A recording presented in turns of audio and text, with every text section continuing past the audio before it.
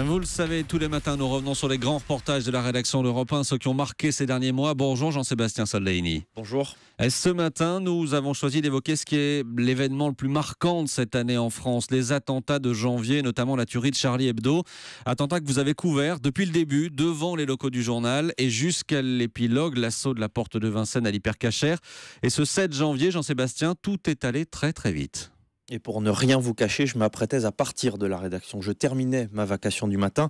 L'actu du jour, c'était Emmanuel Macron qui trouvait que les jeunes entrepreneurs français n'étaient pas assez ambitieux. Et vers 11h45, les journalistes du service police-justice nous disent que des coups de feu sont entendus rue Nicolas Appert. C'est l'adresse de Charlie Hebdo, me dit l'un d'eux juste avant que je ne saute sur la moto d'Europe 1, direction boulevard Richard Lenoir. Il est précisément 12h07 quand vous prenez la parole sur l'antenne d'Europe 1. C'est le premier aperçu en direct de ce qui est en train de se passé près de Charlie Hebdo.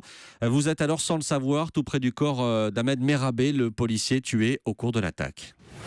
Je viens à peine d'arriver, j'ai à quelques mètres de moi euh, une personne qui est étendue sous une couverture isotherme avec plusieurs pompiers autour de lui qui se relaient depuis 3-4 minutes. Il y a déjà eu deux, trois pompiers qui se sont relayés pour effectuer sur cette personne un massage cardiaque. Ça continue devant moi. Il y a plusieurs véhicules de secours qui bloquent entièrement le boulevard Richard Lenoir à proximité de l'immeuble. Il doit y avoir une trentaine de véhicules de secours, des ambulances, des, du SAMU. Euh, il y a quelques policiers, plusieurs brancards aussi qui sont passés euh, à vide euh, en direction de cet immeuble. Tout ce que j'aperçois en ce moment, c'est peut-être un, petit peu de, de, confusion et beaucoup de beaucoup de, personnel de secours et policiers qui s'activent pour pour essayer de, comprendre et de, secourir les, premières victimes. C'est pour l'instant tout ce que je peux vous, vous décrire. Voilà, c'était donc c'était donc le 7 janvier dernier. Dans la foulée, la rédaction d'Europe 1 bascule en édition spéciale. Vous passez, Jean-Sébastien, l'après-midi euh, devant les locaux de Charlie Hebdo, locaux qu'il est encore aujourd'hui impossible d'approcher. Exactement, l'immeuble est entouré de barrières placées sous scellés depuis le 7 janvier, avec à l'intérieur encore toutes les archives du journal. Aujourd'hui, l'hebdo est toujours hébergé dans les locaux de Libération, hebdo qui était au bord du dépôt de bilan avant ces attentats, mais qui, après la mobilisation populaire, est désormais sauvé financièrement. Le premier numéro publié après les attentats s'est vendu à 8 millions d'exemplaires.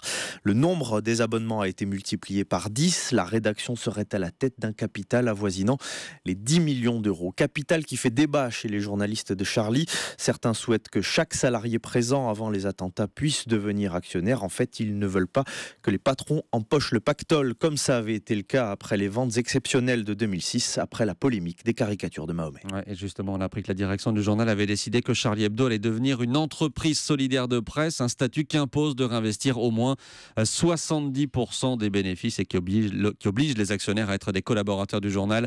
Voilà pour les grands reportages d'Europe 1. Merci Jean-Sébastien Sodlaini.